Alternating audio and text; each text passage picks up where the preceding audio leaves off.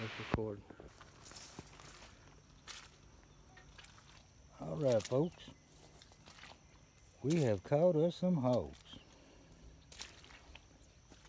Looks like we got one, two, three, four, five.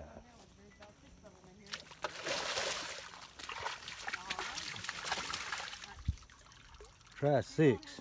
We got six. Six hogs.